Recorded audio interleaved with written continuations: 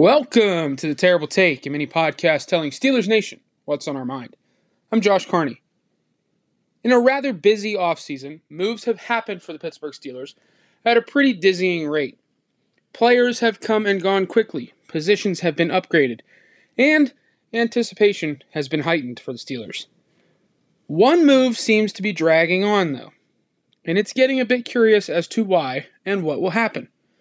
I am referring to the play by play job for the Pittsburgh Steelers, a position that has been held down by just three men in franchise history Joe Tucker, Jack Fleming, and Bill Hillgrove. Hillgrove, of course, retired after 30 years on February 29th, creating a sizable hole for the franchise, one that has yet to be filled.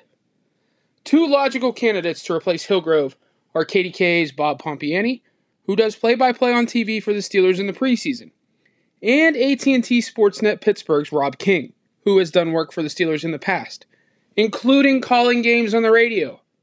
Replacing Hillgrove after 30 years, that's no easy task.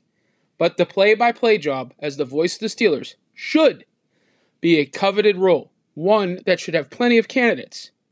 Maybe the Steelers are just doing their due diligence in an effort to nail it once again with the voice of the Steelers. But the longer this thing drags out, the more concerning it gets. Players report to training camp in a month. I'll say that again. Players report to training camp in a month. The first preseason game is just 43 days away. There is still no voice of the Steelers. Time to get moving on the play by play hire. Be sure to follow us at SteelersDepot.com and check out episodes of The Terrible Take every day at 5 p.m. Eastern Time. And check out The Terrible Podcast with Alex Kozora and Dave Bryan every Tuesday and Friday.